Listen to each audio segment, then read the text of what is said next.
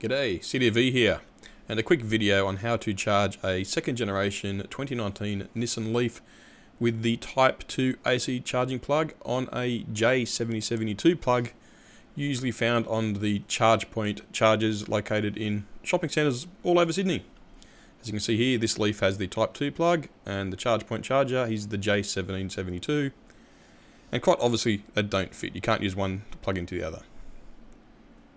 But with this um, easy small adapter, plug one end of the J1772 plug in, and you can plug the car in.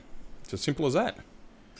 As you can see here, the car starts charging from this charger, and straight to a maximum output of 6.56 kilowatts. These chargers do max out at 6.6, and the car does charge at 6.6 kilowatts on these chargers.